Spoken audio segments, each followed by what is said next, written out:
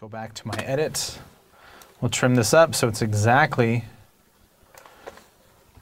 one bar.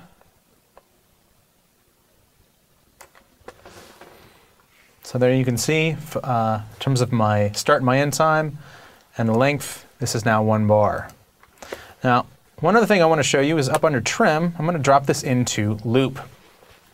So with the loop tool engaged, I can now drag this out and it creates a loop. You can tell they're called loops because they have the little loop symbol after it. And uh, the great thing about loops is if I wanted to change anything in any individual clip, I can certainly, uh, it'll change in all of them. So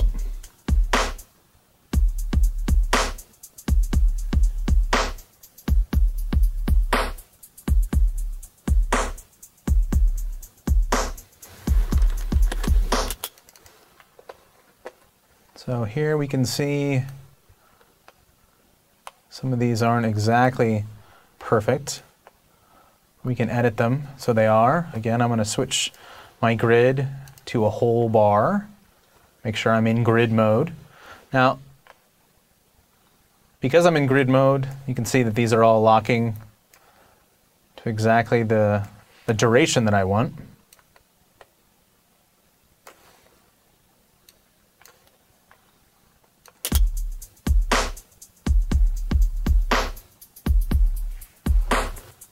So now that's nice and tight. We have something to work with.